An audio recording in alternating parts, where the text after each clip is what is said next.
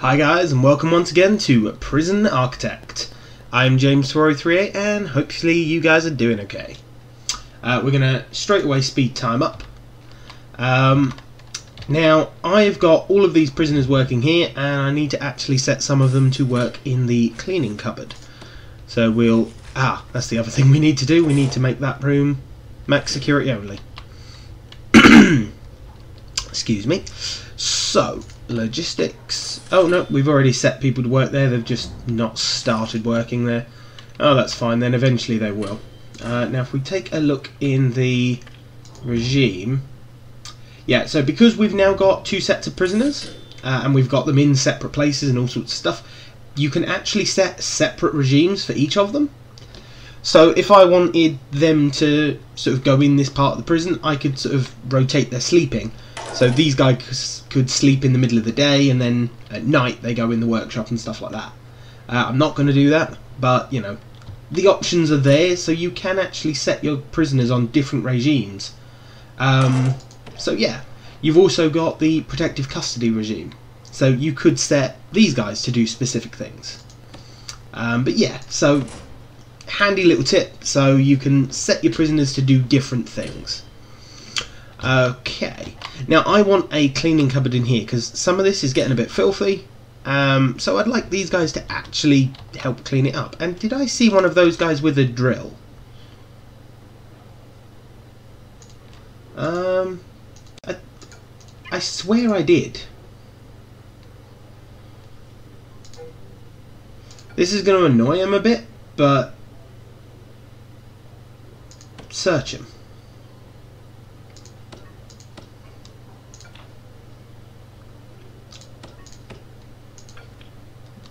Like, as I say, I, I don't know if that was just, like, out the corner of my eye or something, but I swear I just saw him with a drill.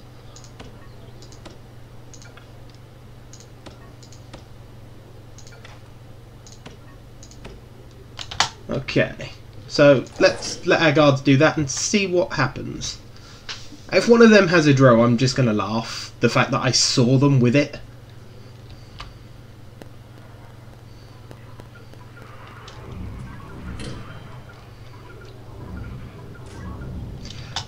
Oh my god, they had a drill! That's excellent! I actually saw the drill! oh, that's brilliant! The fact that I actually saw them with the drill! okay. I can't believe that. Literally at the corner of my eye, I saw that. oh dear. Right. Uh, so I'm going to put this wall up um, and then turn this area into a cleaning cupboard uh, so that these guys can actually clean up a little. Um, now, I know that with my yards on the outside as they are, um, sometimes they'll call in and get people to throw stuff over the walls. Um, so if we look at intelligence and information, yeah, so just here for example, um, there's drugs that have been arranged to be thrown over the wall. And I know I could get rid of that problem by putting an extra fence around and all sorts of stuff like that. But I'm gonna do that sort of thing anyway eventually, um, because eventually, you know, I'm gonna have a big exterior. Yeah, when I learn to speak properly. Uh, I'm going to have a very big exterior wall and stuff. So I don't see the point of double fencing it at the moment. And I've got a police officer there. And obviously, because I've got the phone taps, I know about it. And so my police officers, what they should do is go there when it's due to be thrown over. Um, so yeah. Uh, those guys are my confidential informants. I've got three up there. Anyone with traits that will get them killed. Um, you're a trait that we don't know about. So obviously we're getting a lot of new prisoners in. Uh, it's a good thing we've got some informants both in the uh, max security and the normal security. It means that we'll have uh, a better coverage um, with those prisoners. Um, but I'm not going to call any of them in at the moment. Um, so yeah, we'll get this cleaning cupboard filled. Uh, and then I've got to work out what I'm going to put here. Um, I might do a small workshop. Um, because the workshops can make you some money, so it would be a good idea to have. Um, or a classroom. I mean, I could make this a very small classroom and then make this a workshop. That would work. Um, though I don't have a shop either in this area, which, you know, if people are earning money, they might be a little annoyed at the fact that they can't spend that money. Um, but, you know, we'll see. We'll see what happens. Uh, oh, awesome, that's been built. Lock that open, please. And let's put a cleaning cupboard down.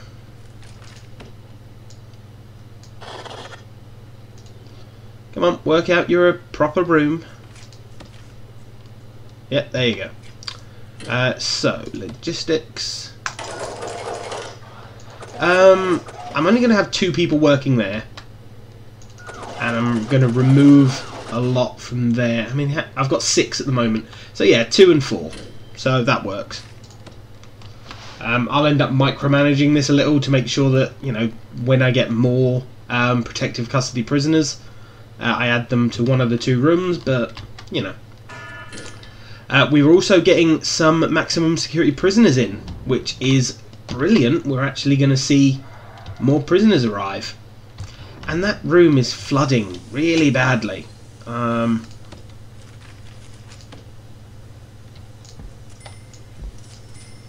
let's just add in a lot more drains. Yeah, because I, I think it's coming out the side there so if we add in the extra drains, hopefully it won't.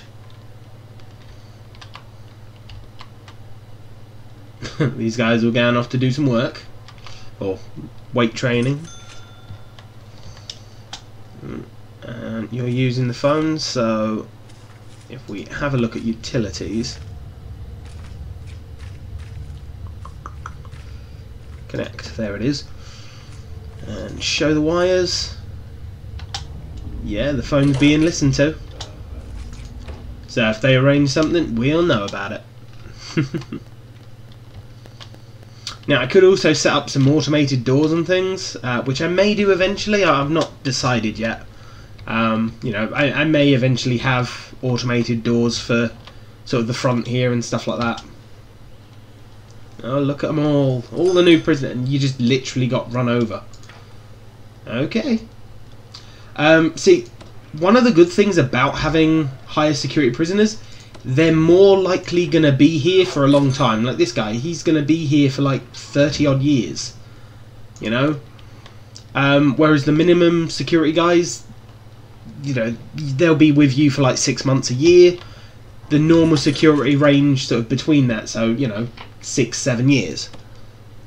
So it's always a good idea having. Uh, sorry, guys, uh, my dog is just jumping up at the window, so I was trying to work out why. Um, so sorry about that. Uh, but yeah, so the the normal security prisoners, you know, will be there for a smaller length of time. But if you really want to make the most of your prisoners, and the reason I say make the most of them, is if they're here a long time, you've got more opportunity to train them, and then you get more out of training them. So if I train them to be a carpenter, um, and build a bed, for example. They're the ones that are going to be here the longest, and so you'll get more beds made from that prisoner. Whereas if you put a time investment into a low security prisoner, you know, you teach them how to make a bed, and then, you know, four or five days into the, the game, they leave. Well, you've just spent all that time teaching them. Whereas a max security prisoner, you spend that time teaching them, they're going to be there for a long time, so you're going to get more out of them. Um, and the fact that you know a max security prisoner is worth more just for being here. You know, you actually earn more money with a max security prisoner than you do with a minimum security prisoner. So, you know, there's a lot of advantages to having higher security prisoners in your prison.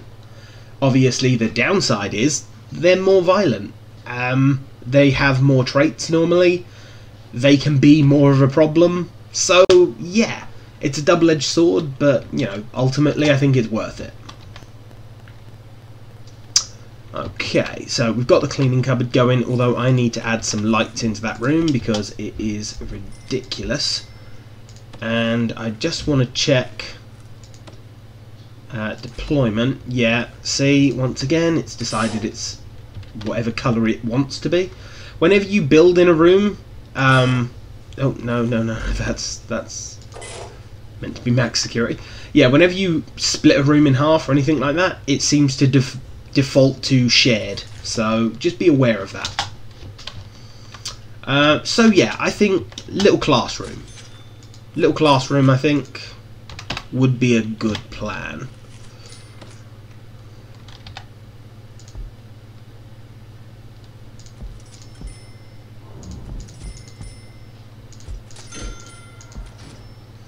and we need a office desk.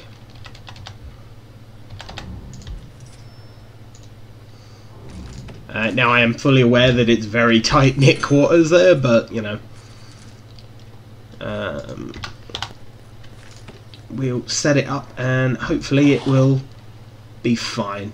Yeah, I mean the minimum is a five by five, so as soon as they put that office desk, I think that should be fine and then I can set up some courses just for these guys.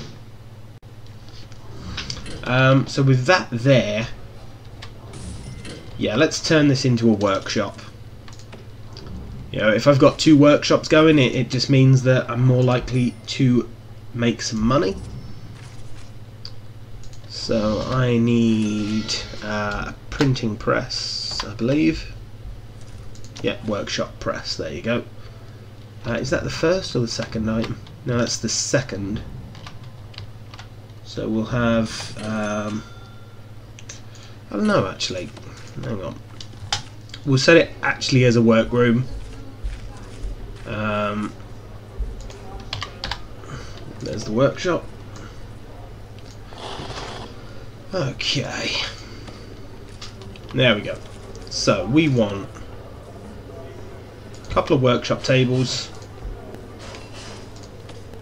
a couple of presses, and I think just a single carpentry bench. Yeah, that'd be fine.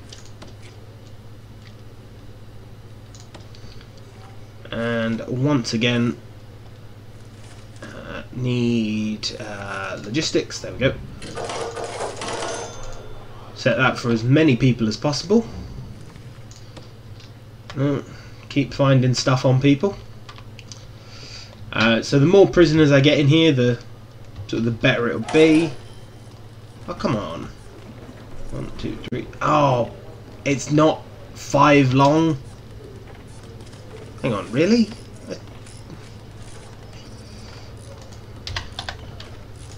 How wide is it? Four. Damn it. Just, just damn it. Okay, so you've got to be a 3 by 3 which is what that is. Damn, really? Just... that annoys me so much. okay then. Um, dismantle you. I can stick a wall there. Uh, and my light is going to get demolished because of that.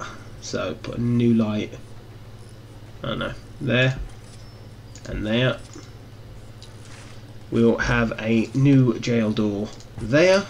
And then this will be my cleaning cupboard. I'll knock that wall down and that becomes an entire classroom of normal size. Ugh. Okay. So, demolish that. Oh, no, no, no, no. Don't demolish that wall by accident. Uh, however, dismantle that door. Open that door. No, no, not lock shut, lock open. Thank you. Okay, so that visitation room is now going to be a cleaning cupboard.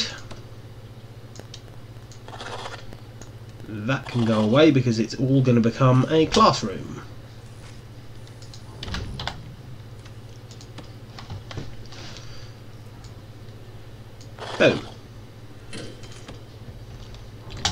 And I can actually spread this out a little now.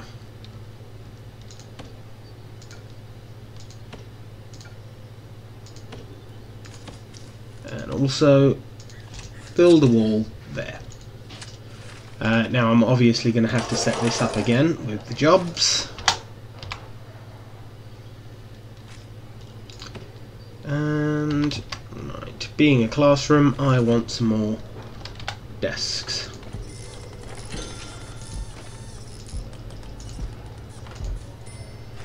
There we go. Deaths. What? When? How? I completely missed when that happened. I'm focusing so much on other things.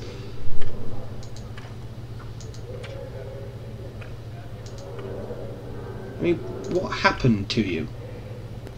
Went on a drug-fueled rampage. Uh, okay. So what actually happened to you? You died, but overdose. So you overdosed on the drugs that you had. Well, damn it. At least he wasn't murdered, I suppose. Like, you know, that... it doesn't sound like that great a thing, but, you know, in this prison, murder happens quite a lot. So I'm, I'm happy that it wasn't a murder. Um... Okay. So there's not a lot I could have done there, really, to stop that.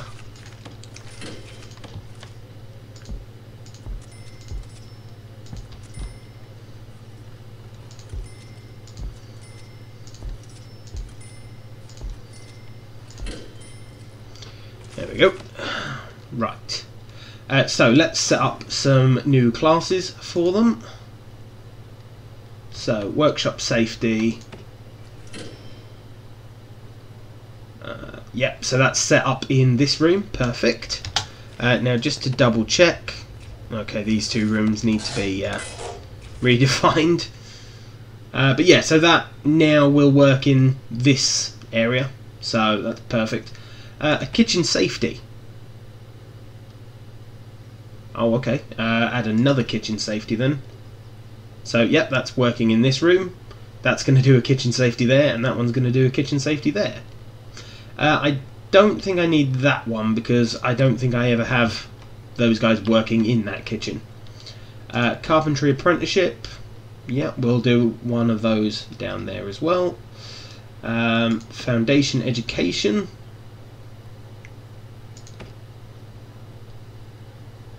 Yep, that's the uh, the one that I want, so I can cancel that one. Um, I don't think I'll bother with the general education because yeah, no one seems to be on that. Um, no, no teacher. I'd have to have another psychiatrist most likely for that one. Alcoholics group therapy again no space for that parole hearing. I do need to build a parole hearing area somewhere here, or turn that into a, a multiple one.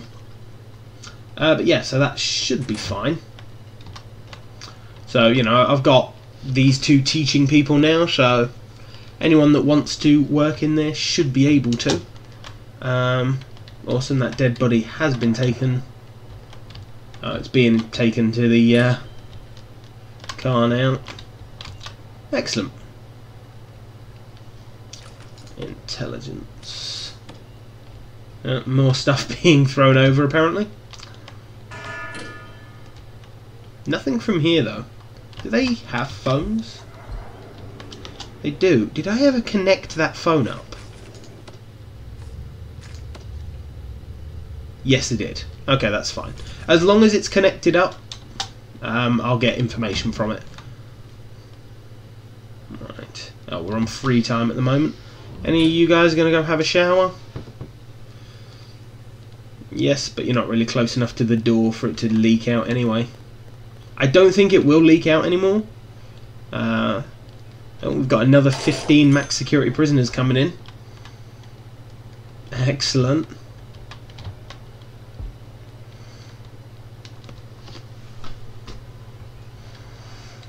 we are making quite a good bit of money. here's all the new guys. Getting run over by a supply truck. Always laugh at that. It's because they don't get out of the road. It's like, look, look at you, you're just going to get run over. Oh no, the guard saved you.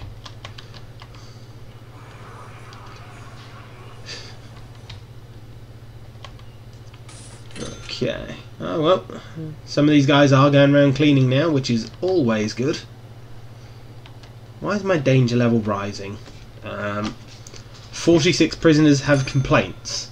You're in prison. You don't deserve to complain.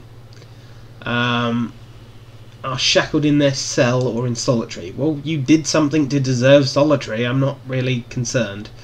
Um, yeah, that. Oh no, now it's going down. So yeah. uh, however, I think it's about time for a shakedown.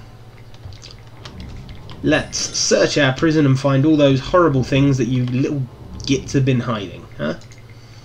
Because there's bound to be a tunnel or two and things like that. Uh, now, it was suggested to me that I put um, metal detectors on my workshop and stuff. I already have metal detectors there. The other thing is having metal detectors in my cell blocks means that to get to their cells they have to pass through a metal detector. And the benefit of that is even if they steal a drill or something like that from the workshop or something else from somewhere, more than likely they're going to go to their cell with it. Um, so I'm going to get them. Now, the items that the metal detector doesn't detect, well, it doesn't matter where I put metal detectors, it's not going to find them. Um, so, you know, even if someone steals a spoon from the canteen, the only place they can dig a tunnel from is their room. And if they walk through the metal detectors to their room, the metal, de uh, metal detector will go off and tell me that they've stolen something. So I'm not too concerned with putting metal detectors on every door, um, just simply because, you know, there are a thousand each door. I have to use electricity to power them. And, you know, I mean, this is already on its last legs of power. And so to route electricity from this one to the new metal detectors would just be a pain. And though I could do it, it it's just not worth it. You know, I've got the metal detectors on their cell blocks, so I should find anything that they're taking to their cells. Oh, loads of people going in solitary. Let's take a look. Oh look, a potential CI. Uh, well, you are recruited. Thank you very much. How about up here? Ooh. Oh, you are one of my CIs. well, have fun in solitary.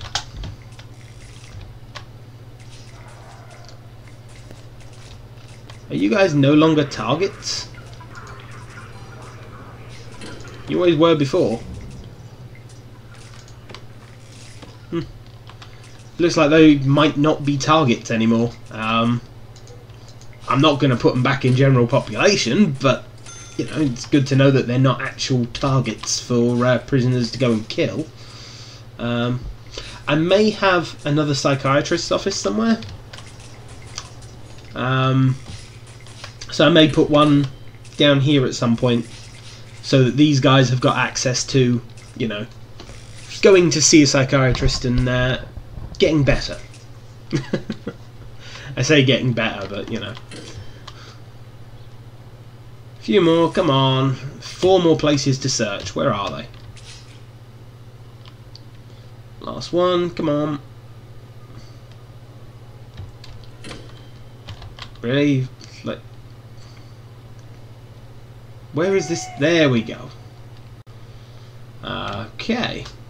Uh, but I'm going to leave it there, guys. So thank you very much for joining me. And please like, comment, and subscribe. And I'll see you later.